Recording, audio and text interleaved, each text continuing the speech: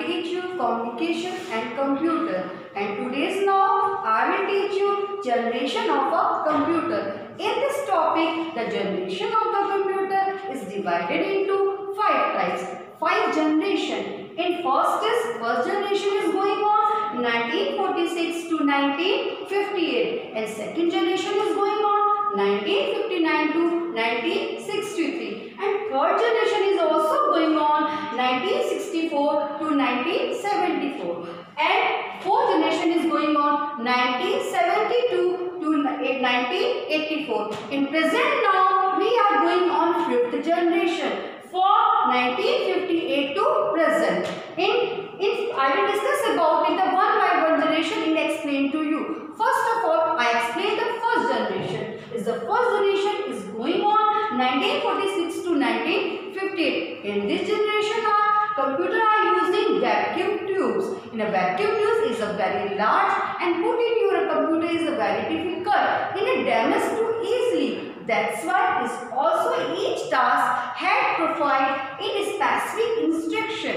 In this generation is a very default. Then our use come to the, second generation. In the second generation it used to transistor. In the transistor, you know the transistor? Whenever in an antenna we are need in the mobile, we are just like a stick. The use of the transistor. In this generation is also is called the assembly language. So what is the difference between the first and second generation? Is the first generation we are using vacuum tube. In a second generation we are using transistor.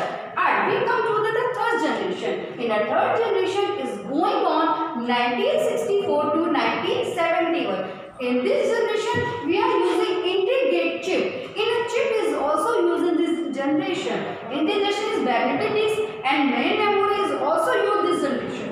Is the difference between this generation of computer is smaller than second generation. In a size also is smaller than second generation. So it is also using perfectly for the second generation compared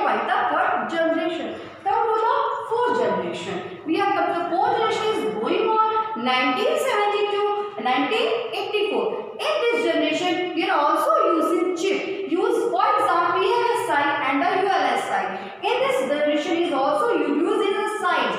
In that time, first and second and third generation, we have computer size is very large. But in this generation, in a fourth generation, we compare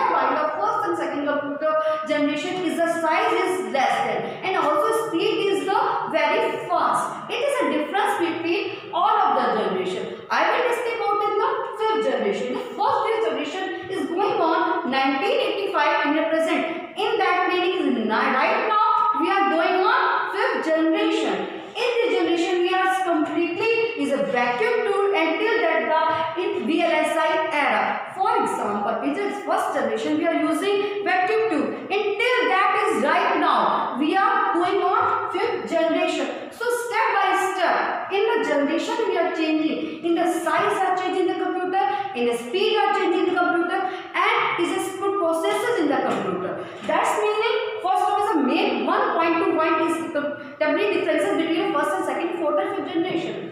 First is vacuum tube is the first is transistor in a second generation. Third is integrated chip in a third generation. Fourth is VLSI. It is the introduce the size.